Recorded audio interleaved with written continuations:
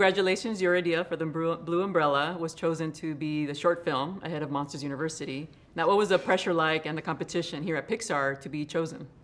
It, it was, I mean, there's so many talented artists here, and, and there were a couple of people who pitched ideas for short films. And it, to me, to a certain extent, that was actually pushing me to try to improve my pitch more and more because I knew the other people that I know here that are so amazing and just trying to get to that level, mm. I think actually helped me a lot in improving more and more in, in, in, how my pitch was going and the story I was pitching. And you use photorealism, but when you're watching the short, you think it's actually live action mm-hmm. and you just added the animation, but the entire thing is animation, correct? Yeah. How do you achieve that look? It looks so realistic. It was just a lot of work, basically. I mean, when we decided that we want to do it as if it's live action, but we knew we need to do it in animation because the level of control and iteration we wanted, you can't do in live action. Mm. So we were just kind of slightly worried could we get it to the point where people think it's live action? Luckily, we were. Um, and a lot of it was just observation of detail. Like how do textures age? How does a mailbox look like when it's a bit older and have five layers of paint? How big the, are these screws actually? And a lot of kind of taking in the natural history and the stories you have in a city that's been around for, for decades.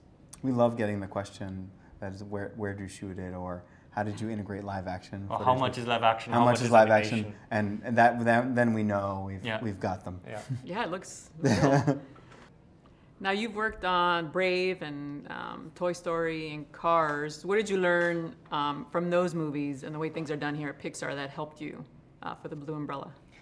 I think the most amazing thing that I experienced here and I learned here once I started working here five years ago was that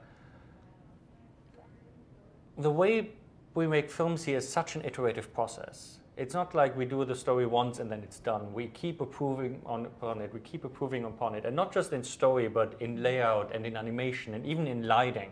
We keep trying to plus the story, and we appreciate every single person's input, every single person's creative input. It doesn't matter if it's a shader, if it's a lighter, or an animator.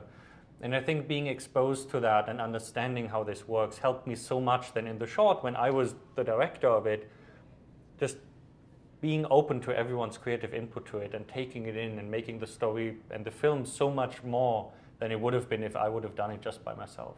Um, now, earlier today in your presentation, you talked about different levels of, from idea mm -hmm. to execution. Can you briefly just list list those?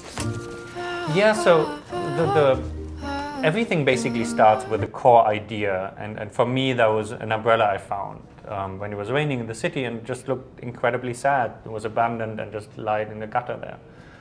And the next step for me was to find an emotional connection. What did that mean to me? And wh why did I feel sad about it? And I realized it was because I grew up in a city where it rains a lot. And in California, where I live, it barely ever rains. And mm -hmm. it was this feeling of missing the rain and finding the rain really beautiful. And that making me close to umbrellas that probably are happy in the rain because that's when they come out. And then building a story upon that and remembering that core emotion when we draw storyboards of the whole film and then when we animate the whole film or when we put it into the computer and shoot it with a virtual camera, always thinking of that core emotion that sparked the story. The same thing when we do the lighting. Is it a warm lighting or a cold lighting? What is the emotional beat of the story? How does the rain look like? Does it look harsh or romantic? And kind of trying to use every single aspect of, of making an animated film to support that story and that core emotion.